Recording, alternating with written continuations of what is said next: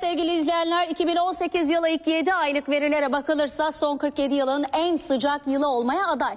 Kandilli Rasathanesi Meteoroloji Laboratuvarı Başkanı Adil Tek'e göre önümüzdeki yıllarda sıcaklık daha da artacak. Örneğin İzmir ve Aydın'da 40-45 dereceleri görmek artık mümkün olacak. Hava oldukça sıcak ama bu daha başlangıç.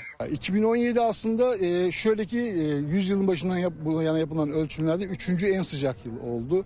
E, 2016 e, 100 yıl içerisindeki en sıcak yıldı. 2018 yılı ise ilk 7 aylık verilere göre son 47 yılın en sıcak yılı. 2018 yılı içinde en yüksek sıcaklık Temmuz ayında 47.4 dereceyle Cizre'de ölçüldü. Daha önce ilk 7 aylık veriler değerlendirildiğinde en sıcak yıl 2010'du.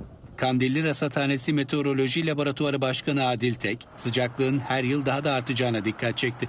Önümüzdeki senelerde örneğin bir İzmir'de, Aydın'da 40-45 dereceleri görmek mümkün olacak. İstanbul'da yine 39-40 derecelere yakalaşan sıcaklık değerlerini önümüzdeki yıllar içerisinde görme olasılığı çok yüksek.